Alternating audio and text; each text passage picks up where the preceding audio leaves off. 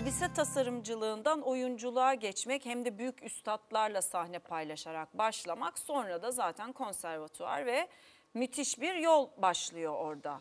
Peki tasarımcılık ne oluyor? Ben oyunculuk kısmıyla artık ilgilenmiyorum. Zaten Neslihan Yeldan yani ben seninle oturup oyunculuğunu ve başarılarını konuşacak değilim. Tasarımcı Neslihan'a ne oluyor bu süreçte? Aslında bence oyunculuk yolu devam ediyor. Çünkü her seferinde başka bir şey yapmaya çalışıyorum. Başka bir şey öğrenmeye ve bir tuğla daha koymaya çalışıyorum. Tamam. Ben usta falan değilim. Ben bir oyuncuyum. Ee, insanlar beğeniyorsa, iyi oyuncu diyorsa ne kadar güzel. Zaten istediğim bu. Ama Tabii bir ki. sonraki projeyi merakla bekliyorum. Şimdi çıkartacağım rolü hala çıkmadı, bu daha olmadı diyorum.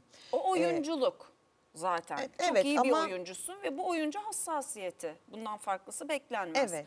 Benim babam hep söyler yani oldum dedin mi ham meyve gibi düşersin Aynen dalından. öyle. Kimse de toparlayamaz o düşmüş halini. Böyle yamuk bir şekilde yerde durursun. Aynen Çok öyle. katılıyorum. Dolayısıyla eğer oyuncuysan, tırnak içinde gerçekten oyuncuysan zaten hiçbir zaman tamamlanmıyorsun, hiçbir zaman olmuyor. Aynen. Hep deniyorsun, hep deniyorsun. Ama bu arada o küçük Neslihan ne yaptı Ee, elinde çizimleriyle? Elimde çizimlerimle iki yıl önce e, oğlumun artık Londra'ya gideceği belli olunca e, bu markayı sana adıyorum. Belki bir süre oyunculuk yapamayacağım ve senin yanında olacağım ama e, genç kızlık hayalimi gerçekleştireyim ve bu marka bana Londra'da baksın diyerek e, oğluma ve bana baksın diyerek ben kendi markamı kurdum. İki sene öncesine kadar hiçbir şey yapmadın mı bu konuyla Yapmadım. ilgili? Oyunculuk dışında bir şey yapmadım. Ama mesela işte kendi kıyafetlerini seçerken, Ee, karakter kıyafetlerini Ha, seçerken tabii o, mi o belki? hep kontrolüm bende olsun istiyorum ama o bir tasarım değil. Yani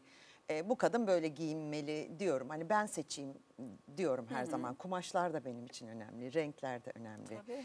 E, her kumaşı giymem, her renk bana uymaz. E, bazı renkleri giydiğim zaman ay bugün ne güzelsin derler. Hani sadece bana değil sana. Tabii ki, Bütün herkese. herkesin herkesin kendi tenine, saçına, gözüne uygun rengi var. Bazı kumaşları özellikle severim. Ama iki yıl öncesine kadar tasarım anlamında bir şey yapmadım tabii. Oyunculuk tamamen yolculuğum oydu ama minnacık fularlarla başlayıp Ben fuları hatırlıyorum galiba. e, öyle başlayıp sonra e, şu an doğal kozmetiğe kadar e, geldiğim, parfümlerin çok beğenildiği bir marka oldu.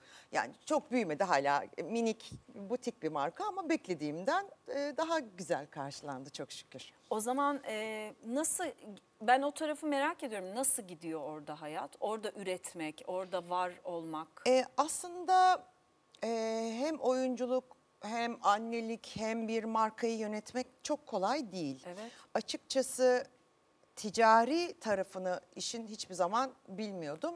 Bence daha yeni de öğreniyorum. Evet. Çünkü bayağı kör atladım. Hiçbir şey bilmeden atladım. Ee, istediğim yerde değil ama iki yıllık daha iki yaşında bir marka. Ee, daha uluslararası bir yere gelsin istiyorum ama Londra'da satılan bir dük mesela Notting Hill'de Portobello Road'da e, bir dükkanda satılıyor. Oradan dünyanın her yerinden insanlar alışveriş yapıyor ve alıyorlar.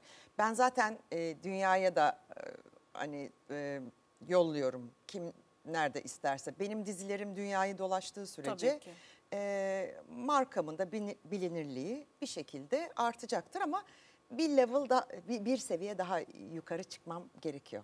Onu da öğreneceğim. Birileri bana öğretecek. Ticareti bilen biri değilim çok.